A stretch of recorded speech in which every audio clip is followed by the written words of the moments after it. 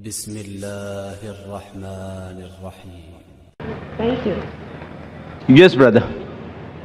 Good evening, sir. My name is Rahul Gaonkar, and I'm just a student. I just need to ask you in the Islamic religion, why the Shias Muslim people are given less importance compared to other Muslims? I have also heard one of my Muslim friends that they are not even allowed to drink water from a Shia family, not even a water, okay? Means uh, I just need to ask, means uh, it is also said that means in Iraq there was a Saddam Hussein has done, he has spread a chemical gas, he has done a cruelism on Shias people, as compared to Hitler has done on Jewish people in the Second World War. So don't you think it's an injustice? I also need to know that means what exactly the Shias people has done a mistake in the Islamic religion before. So means still they're suffering right now these days. The brother asked the question that why are Shias considered inferior and what mistake they have done, why Saddam Hussein killed them like Hitler has killed Germany with chemical weapons, etc. Brother, in Islam there is no Shia Sunni. There is no Shia Sunni in Islam. I'll give the answer. I'll give the answer. I'll give the answer and then you're most welcome. In Islam there is no Shia Sunni. What Quran says in Surah Al-Imran chapter 3 verse number 103 وَاتَصِمُوا بِحَبْلِ اللَّهِ جَمِيعًا وَلَا تَفَرَّقُوا Hold to the rope of Allah strongly and be not divided. We have to hold to the rope of Allah, the Quran and the teachings of the Prophet, the Sahih Hadith. If you hold to them, then you're a true Muslim. There is no Shia Sunni in Islam and there's no sect in Islam. The Quran says in Surah Anam, chapter number 6, verse number 159, O Prophet, anyone who makes divisions, who makes sects in the religion of Islam, you have nothing to do with him. Allah will look after their affairs on the day of judgment. And our beloved Prophet Muhammad said that there will be 73 sects in Muslim. Out of that, only one will go to Jannah. The Sahabas asked, which one? Those who follow me and my Sahabas. Those who follow Quran and the authentic teachings of the Prophet. So, the Quran says, don't make sects. A Prophet said, even though the Quran says, there will be some people who will make sects. How many? 73. The one who will be on the true part is one who doesn't make sects. So anyone who calls himself anything besides Muslims, the word is Muslim. Muslim means a person who submits his will to God. What was the Prophet? Was he Shia? Was he Sunni? What was he? He was Muslim. And the answer I gave to the earlier sister of Surah Al-Imran, chapter 3, verse 64, it says, فَقُلُوا شَدُوا بِأَنَّا مُسْلِمُونَ We bear witness that we are Muslim. If you want to judge whether the Muslim is right or wrong, what do you do? You check with the Quran. Let him call himself Muhammad, Zakir, Sultan, Abdullah, no problem. You check it up if he's following the Quran and the authentic teachings of the Prophet. Bukhari, Muslim, authentic teaching, he's a true Muslim. If he goes against the true teachings of the Prophet, the Sahih Hadith of Bukhari, Muslim and all the other Sahih Hadith and goes against the Quran, he is not a true Muslim. A true Muslim is a person who follows the Quran and the authentic teachings of the Prophet Muhammad. So when you come to know, let him call himself anything. If he does not follow the Quran and does not follow the authentic teachings of the Prophet, he is not a true Muslim. Regarding the second part of the question, Saddam Hussein. Saddam Hussein not in the question. It is in the question, na? Ah. Saddam Hussein. Saddam Hussein killed Shias. Brother, I don't know whether he killed Shias or not. The media says. But whether it be Saddam Hussein, whether it be Hitler, whether it be George Bush, anyone kills any innocent human being. Leave aside Shia Sunni, even if he kills innocent Hindu, innocent Christian, innocent Jew, it is a big crime. Let it be Saddam Hussein, let it be George Bush, let it be Hitler. Anyone who kills any innocent human being, whether Muslim or non-Muslim, whether it be Hindu, whether it be Christian, whether it be Jew, anyone kills any other innocent human being. If he's done it, it's a sin, it is prohibited. I am not here to protect anyone. Let his name be anything. George Bush, Hitler, Sultan, Abdullah, Tom, Dick, Harry, anyone. If anyone kills any innocent human being, it is prohibited. Hope that answers the question. So it means you want to say that we should not believe in this Shias, Sunnis or Bohri Muslims, sir. I am not saying that. Quran, there is no Shia Sunni in the Quran. Means so There's there no are so Bohri many in the Quran. masjids are there, so so many That's masjids. what you tell them. You ask them, where is the word Shia mentioned in the Quran? Ask him, where is Mori mentioned in the Quran? Sir, it is a, it's a, my college is there means in Bandra, sir. I'm studying in. So these people are not following what you have to do. Ask them. Are they following the teachings of Muhammad sallallahu alaihi wasallam? Are they following the teachings of Allah subhanahu wa ta'ala? Allah says in the Quran in Surah Anam chapter 6 verse number 159.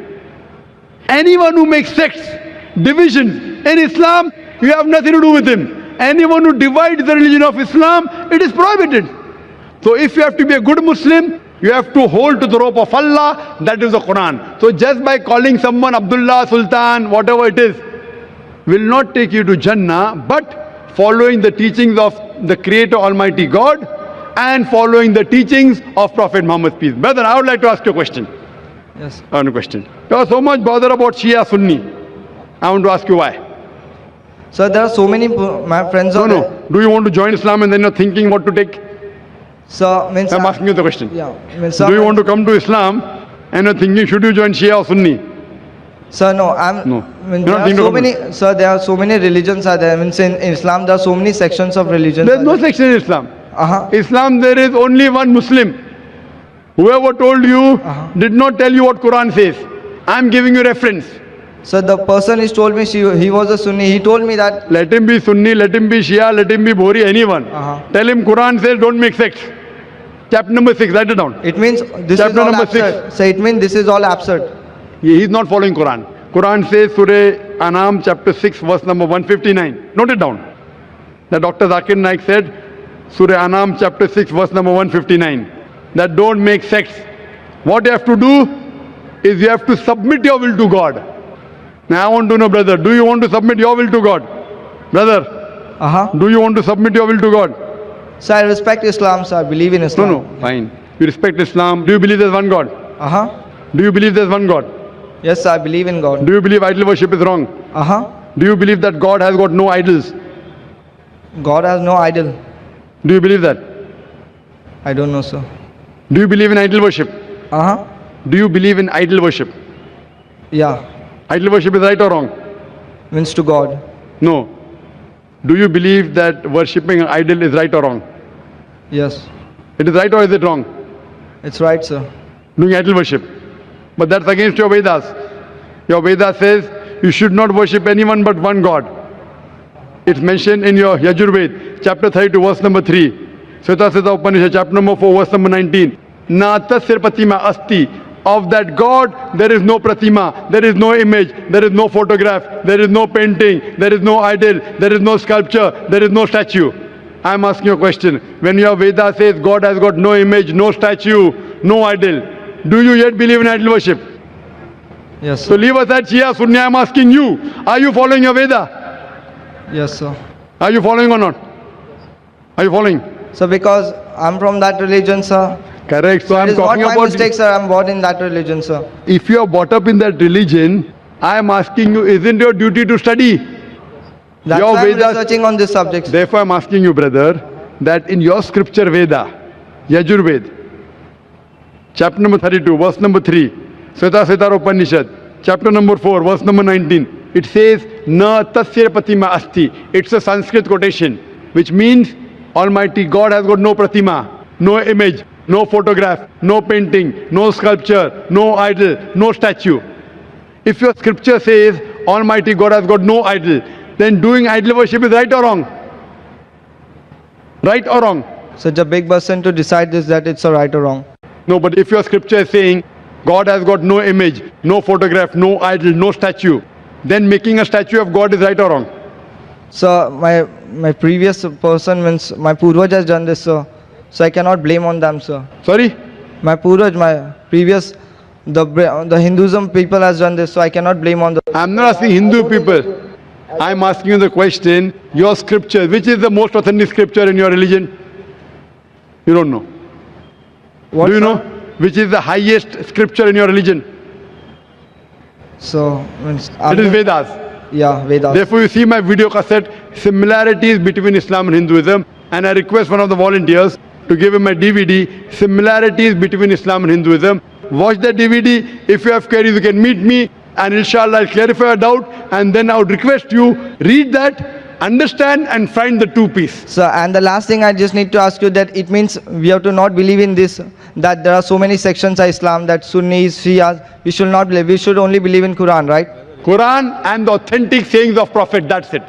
Any scholar says anything. Quran says in Surah Nisa, chapter number 4, verse number 59, Atiullah, Atiur Rasul. Obey Allah and obey the Messenger. And continues, and those who have been given the authority for command, those who have charged with affairs. That means you have to follow Allah, Almighty God, His messengers, and those who are knowledgeable. But the verse does not stop there. It says, if they differ, if the people of knowledge differ, go back to Allah and His Rasul. If someone tells you something, you verify from the Quran and the authentic hadith whether it's right or wrong. Just because any scholar says anything, it carries no weight in Islam. So that, Our thing is Allah, Almighty God, and the Messenger. If any scholar says something, if it matches with Quran and Sahih Hadith, you accept it. If it is against Quran Hadith, you reject it. so, Just by person saying he's a Muslim, you have to tell him, Qul hatu burhanakum, produce your proof in kuntum sadiqin, but if you're truthful. That's the reason. Whenever I give answer, I give you references from the Quran and Sahih Hadith. What I'm saying, what Dr. Zakir Naik says, is zero in Islam. It carries no value. What I say in Islam is zero. Nil. What Quran says, what Almighty God says, what our beloved Prophet Muhammad says, that carries weight. So what I'm giving, I'm giving references. Person who does not know, I'm giving references. My answer is based on this teaching of the Quran, these verses. My answer is based on this teaching of the Prophet, Sahih Bukhari, volume number so and so, etc., to give proof. So what they say carries weight, what I say carries no weight. Hope that answers the question.